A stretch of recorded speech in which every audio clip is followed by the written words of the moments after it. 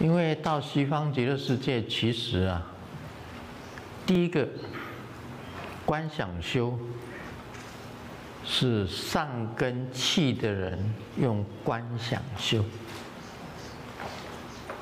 中根器的人用观相修，观阿弥陀佛的相去修，下根器的人。用持名修，持他阿弥陀佛啊，我们知道的念佛，就念南无阿弥陀佛。最下下根器的人，就是临终十念。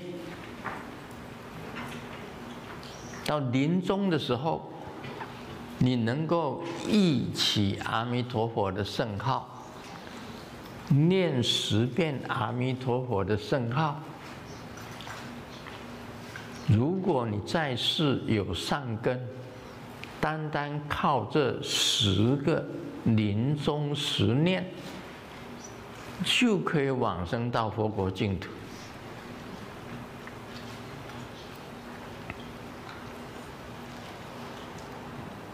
所以，西方极乐世界阿弥陀佛的净土，是最方便的一个方法。去到那里呢，再修三十七道品。去到那里，为什么能够修行？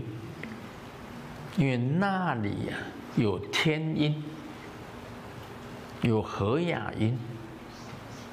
你听到这种天音和雅音，你自然的、自动的，你就会念佛、念法、念身，而且修行三十七道品。那不是强迫你，而是你心里自然产生欢喜心。自然你就会去修三十七道品，然后你修了三十七道品的时候，你自然能够一阶一阶的往前面走，到了长吉光土，你就是就近成就。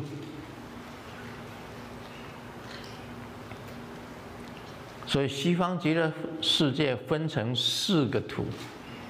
一个是长吉光土，是法身佛所在；一个是十报庄严土，跟方便有余土，是报身佛所在；到了还圣同居土，就是应身佛所在。那我们如果到了西方极乐世界，你是凡夫，你那时候你还是凡夫，叫做凡圣同居土，圣就是应身佛在那里，凡就是你在那里。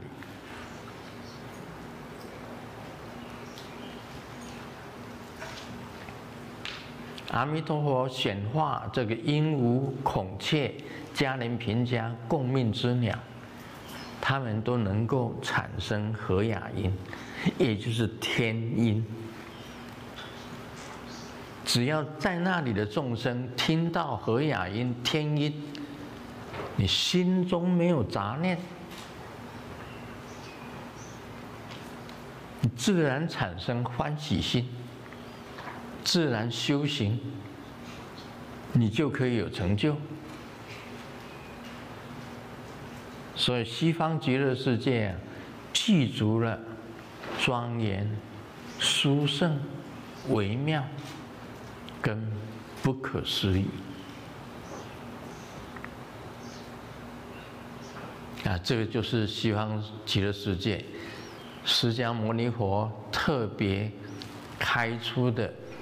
方便法门。让有业障的也能够到那里去。业障没有完全消除的，都可以到那里去。业障已经完全消除的，那就是到了这个报身佛的境界，或者到法身佛的境界。有长吉光图、十报庄严图、方便有余图。业障没有消除的，在凡圣同居土。